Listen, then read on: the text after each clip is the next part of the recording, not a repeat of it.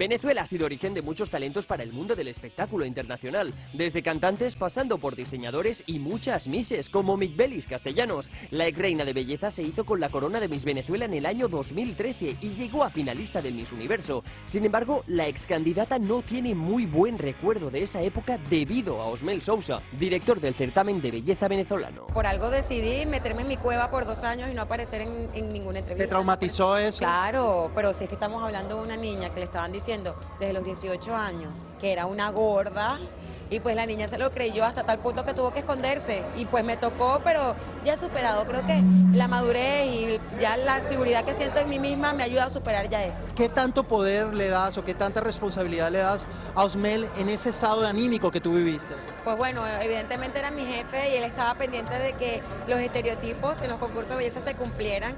Sin embargo, se topó con una muchacha que era un poco más rebelde, podemos decir que quería hacer lo que a ella le gustaba hacer y lo hizo. Además, el país está pasando por uno de los momentos más complicados y muchos critican al certamen de belleza, pues para algunos la situación no está para celebrar fiestas. ¿Cómo vamos a festejar un concurso de belleza en donde no hay comida?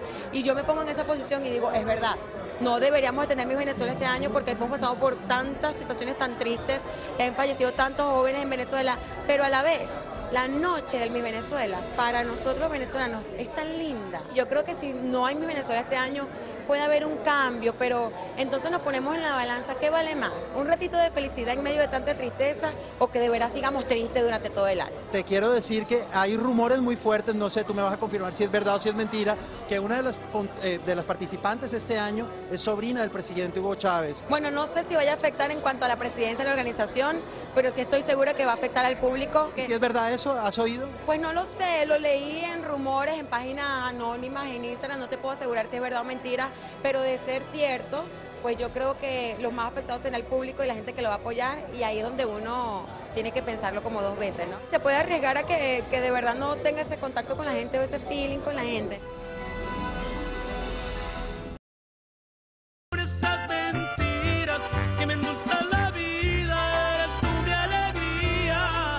Ahora Tracy salta del modelaje y se